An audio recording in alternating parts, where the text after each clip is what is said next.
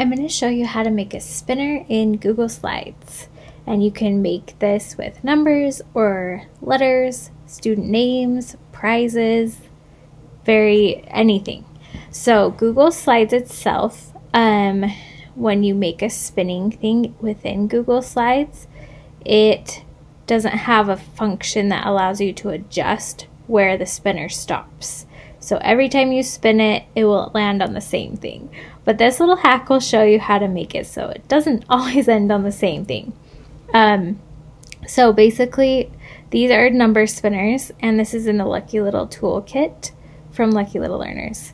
And I'll show you how it works. So you just click present, and then you click the spinner to spin it, and it actually is going to pull up this spinner in a new window on your device. So this is the little hack. Okay, but you can see it's the same spinner. All the students do or you do is click to spin it. And then it lands on a different number every time. And it tells you, okay, you got a, a number one. And this confetti and everything, if you're creating your own, you can make those settings how you want it. So, what you're going to do, if you're going to create your own, you're going to wheelofnames.com right there. Um, or you can just go from a different spinner. And what you're going to do is you're going to click new if you haven't if you're in a different one. And you can see here there's they just put in some random names for you. Um, so everything that you want to put on your spinner, you put right here. Okay, so if that's numbers, or maybe you're gonna do like vowel team, spellings, we'll do like long A vowel patterns. Okay, and then what you can do is you can sort it, you can shuffle it. I always like to shuffle mine. It doesn't really matter because it's spinning and randomizing. If you have certain images you want to put in here, um, like different shapes maybe, or different images of prizes, you can click add image and you can add images to the little spaces. Um, and then you can customize it right here um, by getting different colors and everything. So if, if you want a ticking sound when they spin, or different music or no sound. Um, if you want to allow duplicates on the wheel, I always change the spin time because we don't need to sit here for like 30 seconds. Whoops. Um, and then you can change the number of things on the wheel. That one's probably fine just as it is. I don't think you're going to make a spinner with 500 options. Um, and then after the spin, this is when you can say, oh, I want it to be like bells ringing or read it out loud. That one's a really good one for second graders.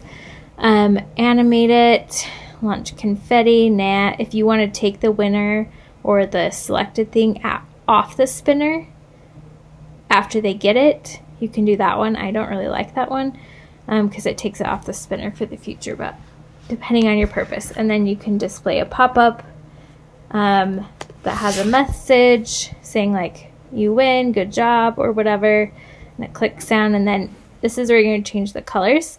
You can only change the colors for six options, um, so I usually just do like the same color, um, but you can do different themes, you know, like Google type colors or holiday. You can do like a Halloween spinner, and it will just give you some like Halloween options here.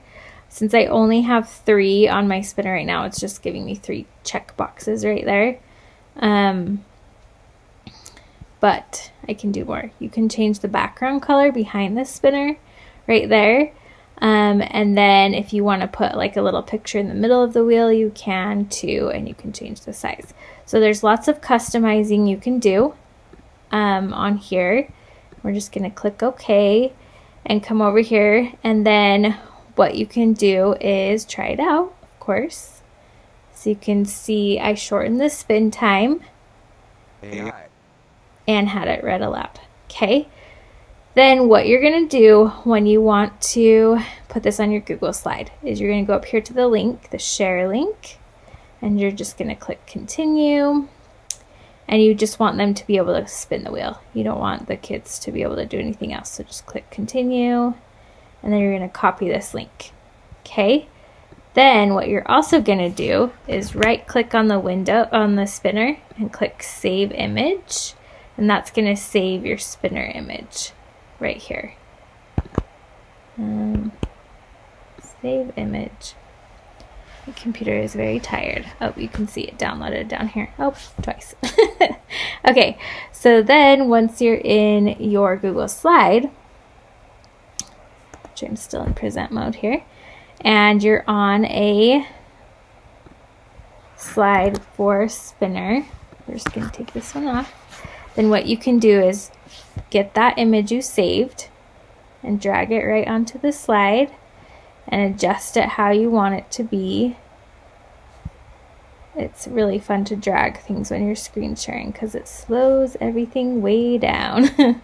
okay, so then what you're going to do is you're going to, while this image is selected, you're going to go up here to this link and then right there you're just going to paste that link from where you copied it in Wheel of Names and then click apply.